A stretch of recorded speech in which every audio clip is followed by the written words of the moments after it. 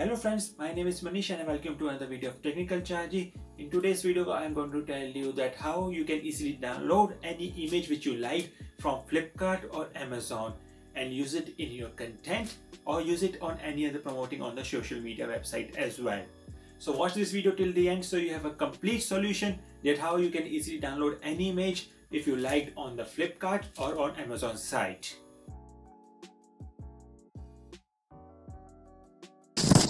So you need to go to your browser right now and search for Flipkart or Amazon. Once into Flipkart and if you want to save any banner, let me just show you that how you can save it very much easily.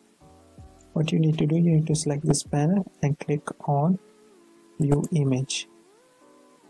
Once you click on the view image, you can see the size over here of the banner it very much less so now what you need to do? You need to remove this from the URL last which is after the question mark equal to 50 and over here which you can see over 50 you need to change it to 1200 and this you need to change another 50 into 628 and you need to press enter. See the banner now you can use this banner in any of your social media or any in your video easily. Let me quickly show you another example. Let me go to Flipkart website once again. And let's this time search for mobiles. So this is all the mobile feature right now. And suppose I want to quickly copy this banner which is of Oppo K1. Let me just click it and search for view image so view image is this.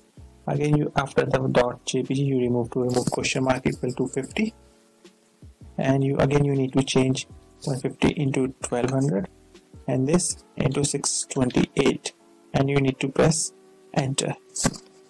See the banner. The banner is right now is your original size. Now you can use it in your videos in the high definition. You can even use it in your social media even into your thumbnails or any other thing which you wish to have. So this is how you can save the banners from the Flipkart very much easily without losing any of the quality.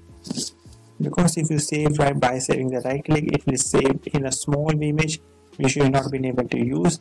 Even if you zoom it, it will just break the pixels and the image looks very much bad.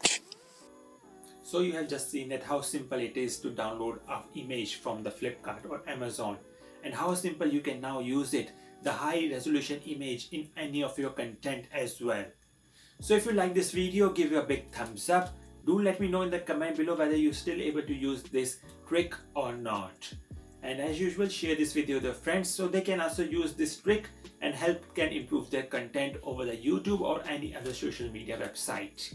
And please don't forget to subscribe to my channel for such interesting videos and I see you all in my next video.